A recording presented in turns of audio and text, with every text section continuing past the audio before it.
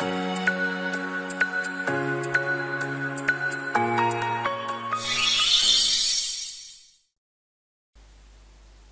い、こんにちは、レトスの大野です。2月14日の3問に入っていきます。当初の存続期間満了時に建物が存在しており、借地権者 B が契約の更新を請求した場合で、地主 A がこれに対し、遅滞なく異議を述べたが、その異議に正当の自由がないとき、契約は更新したものとみなされ、更新後の存続期間は30年となる、丸か×かという問題です。考えたい方は動画一旦ストップしていただいて、この動画の下の概要欄から問題文ご確認ください。答えは、誤りですね。この30年が誤りで、正しくは20年です。当初の存続期間が満了となり、建物が存在し、地主に正当自由がなければ、借地権者の請求により借地権は更新されます。請求による更新と呼ばれる更新ですね。法定更新とも呼びます。この場合、存続期間以外、契約期間以外は更新前と同一の契約内容になります。一方で存続期間、契約期間については、最初の更新では更新の日から20年、2回目以降の更新については、更新の日から10年となります。えつまり、え本文の場合、え更新後の存続期間は20年が正しいということになります。えまあ、基本的な問題なので、わからない方は絶対に覚えておきましょう。いろいろ書いたんですけれども、個別指導では、これらはきちんとポイントごとに整理して解説しています。合格者は知識が整理された状態で頭に入ってます。一方、不合格者っていうのは知識がごちゃごちゃになって頭に入ってるんです。あなたはどちらでしょうか？ごちゃごちゃになっているのであれば整理しましょう。まあ、それを簡単にできるのが個別指導なんですね。個別指導の解説ではもう表にしたりとかして整理された状態で勉強を進めることができます。今であればまだ間に合いますので、一緒に勉強して今年の合格目指しましょう。で、問いにですね、免許の用費です。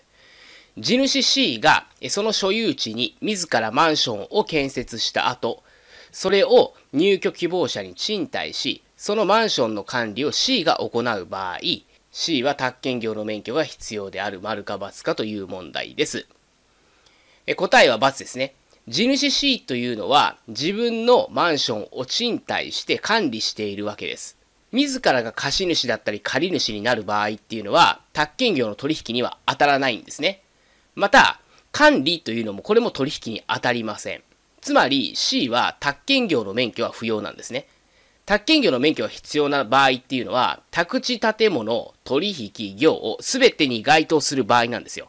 今回取引、これに該当してませんので、免許が不要だということです。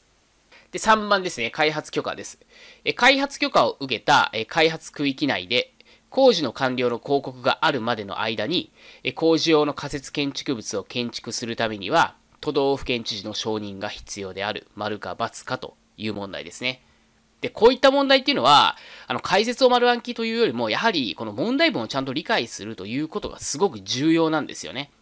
個別指導でも一番最初にお伝えするのは問題文の理解っていうところなんですよ。問題文が理解できていないと、どれだけ勉強して解説、いわゆる法律というものを頭に入れたとしても、それが使えないんですね。つまり法律が頭に入っていたとしても、得点できない。結果として合格できないということになりますので、ちゃんと問題文を理解するというような勉強を早い段階から行うということが重要です。もう理解学習の一番の基本っていうのは問題文の理解なので、その点を注意しながら行っていきましょう。で、この問題についてどうやって問題文を理解するのかっていうと、ちょっと、えー、解説長くなりますので、すいません、省略させていただきます。あの、個別指導の受講さんについてわからない方は、ご質問いただければ解説させていただきます。で、今回の問題はどうかというと、え×です。開発許可を受けた開発区域内で、工事完了の広告があるまでの間は、原則、建築物を建築することができないんですね。ただし、今回例外なんですね。今回は例外として、建築可能なんですよ。工事用の仮設用建築物、建築は可能です。で、その際に承認は不要なんですね。で、これなぜかっていうと、プレハブ小屋、ちょっとしたちっちゃな事務所ですよね。まあ、それぐらいだったら承認不要でいいでしょと。まあ、そういった感じです。もう人が住むような建物とかそういったものじゃなくても簡易的な建物なので、もう例外として承認不要で建築することは可能だというふうにしています。今日も最後まで動画ご覧いただきましてありがとうございました。宅建合格目指して一緒に頑張っていきましょう。レトスの小野でした。